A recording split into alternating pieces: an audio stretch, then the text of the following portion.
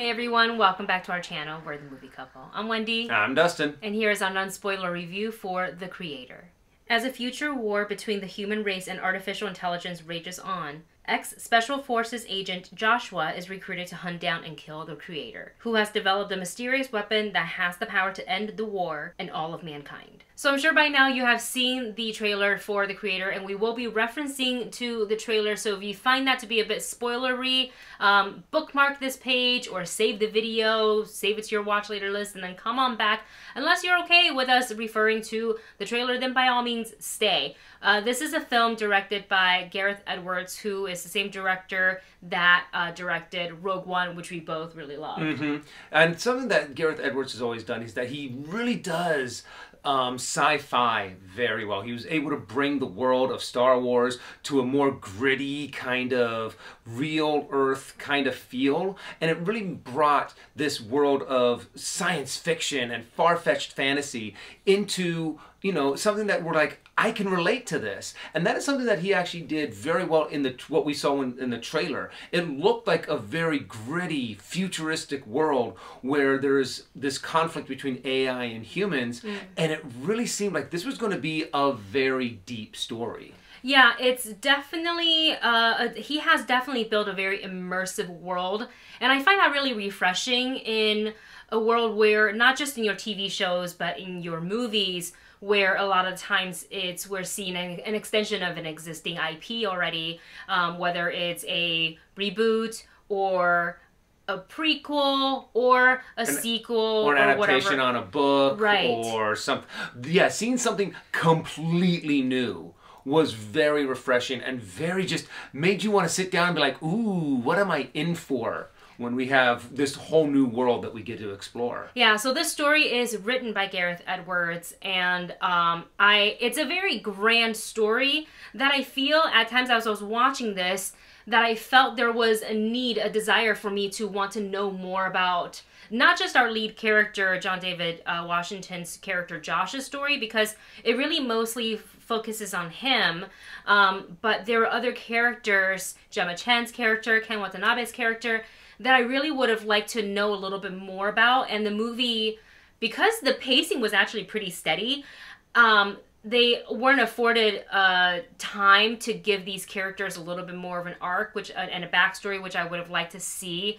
Um, but I, I will say, I, I feel like yes, the pacing was good, but this isn't a like a how do I say it? I would say this is the definition of like a slow burn movie with a really great third act. And the thing is, there's just this huge world that we would love to see developed. Something that both Wendy and I were talking about in drive home was that, you know, this would have been really, really good as like a mini series or something where we could have been able to spend, you know, up to three to four hours being able to develop this war, be able to develop the people that are involved in the war, each side of the war to where you can see, you know, you can see the human perspective of it, you can see the AI perspective, you can build sympathy for these characters. Mm-hmm. But there's so much material here, and it's only, we the movie's only like two hours and 10 minutes, minutes and 13 like minutes that, yeah. with credits. So I feel when I was sitting down in the, um, in the theater, I felt like they sped through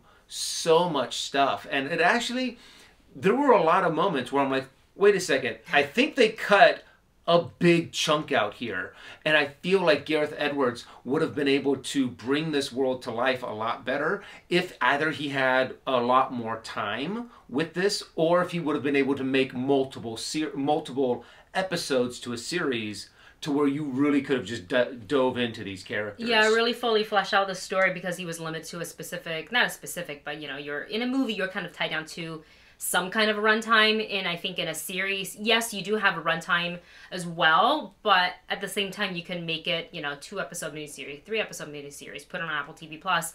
It's great. But I will say, having said that, this visually, it's so stunning. Like every single frame was so freaking beautiful that it would have been a shame to like ha- not have seen this on an IMAX screen. We saw it on an IMAX screen, so it, it was spectacular. The sound was great, visual design, everything was great. I want to kind of um, touch on what you said earlier about the human connection mm-hmm. of it all and, and how certain characters we would love to get more backstory. So the overall plot is that there's a war between the humans and the AIs. There are a specific group of people who are like, no, we don't like the AI because there's something that happened to make them go. They're dangerous. They have too much power. We have to ban all of them. Um, and then no, there not just is ban all of them. Get rid of them. Destroy all of them. yeah, no AI. And period. anyone who supports them. And then there is another group of people, and I'm trying to keep it really, really vague so you guys can kind of like experience it in the story. So if you've already seen the movie or, or if you've read more into the plot, you're like, how come she's not mentioning this? I just want to make sure we are trying to stay as spoiler free as possible. So there is a certain group of people that are fine with AI. They have sympathy for AI. They are okay with living amongst AI. They don't find the AI to have any sort of ill intent. Um, so those people that kind of are okay with the AI, unfortunately, fall victim to essentially this war that is happening. Um, so what I would have liked, as far as human connections go, we saw the emotions of the people who were fine with the AI, who were living with the AI, right? Yeah. And coexisting with them. But we didn't really get what people are like, like not military, everyday people who were against the AI, ban the AI. I wanted to see it from there, just to have the perspective from both sides. I felt like we were missing that. So when the story is kind of overall about this war, to be like AI bad, destroy them all, you at times I felt like I couldn't really connect with their cause. Like I understood it, but I didn't connect it with it because there was no nothing ironically human connecting me to that part of it. Yeah, and something that I think was also a little jarring was the fact that they kind of did some timeline jump. Yes, they did. To where it was a little bit more difficult to start feeling sympathy for some a character that they're now telling you this part of their story. Mm. I feel like if we would have had, say, like a three-part miniseries, you could have had the beginning, the how the war started, how all of these emotions got to where they Mm-hmm. were, and got so far to where it got to a breaking point. Yes. Then you actually have the war and then you have the end of the war mm-hmm. and being able to see that progression a little bit more and being able to see the development of both of these sides i mean that's actually a good thing to say about the movie and the world that gareth edwards presented and created is that we're not going oh this is so boring we're going we want more. We would love to be able to connect with these characters a little bit better because it is 100% original. So it Yeah. is really cool to see these characters, to to see this world, and the way that he even started it, um, kind of like the Oh, it started epilogue. strong. It started really strong. Really I'm strong. like, okay, they're kind of changing our history a little bit to make it so where AI could be a more prevalent force in the more recent future. And I just was really into that. But then we skip ahead, and then there's some timeline jumping, and then I'm kind of like, I got to the point to where I was, where these things were happening to certain characters, and I was not invested enough mm. in the story, in the world, or in the war to really have these emotional punches. Like I think if these would have had the exact same moments, but we had more time to develop, I think these moments in the movie would have just packed a much bigger punch. Yeah, and to on that note too, um, this is sci-fi war film. There's that like emphasize on, the, I mean equally, but like the war. It's he, Gareth Edwards doesn't shy away from the brutality of war, um, whether it's the you know soldiers or the civilians or the AIs. They really show you all of that, um, and I think at times it made me feel like I had to disconnect from it to because it was so brutal to watch. And this is why i don't do i don't i don't usually do well with with war films. Like i i i, I can appreciate them for what they are but i i think um just for me it's as, as, a, as a personal taste thing like i would rather read about a war than like watch a war. Being, putting it in a sci-fi world makes it a little bit easier to have that like you kind of can dissociate and be like okay but at the same time the way he did it and as you guys watch you will see just how much the destruction and and innocent bystanders you know um being victims of, of war that that i would say kind of um made me feel like i wanted to disconnect even more. Uh, and then with that i will say who pulled me really pulled me in with the look performances was great with all these actors um but the one person that surprised me, and I knew it was going to turn out this way, is the actress playing Alphie, Madeleine Yuna Voyes, I think, and Voyles. Sorry if I'm saying that incorrectly. She is young, but she has a very commanding presence. Her emotions and her arc.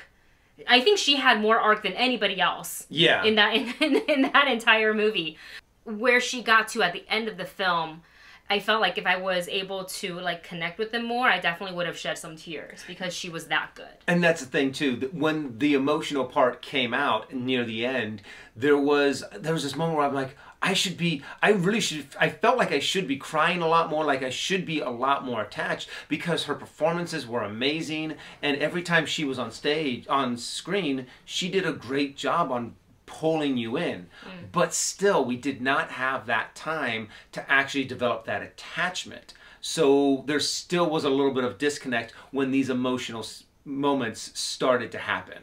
And I wish we would have had more mm-hmm. time. Yeah.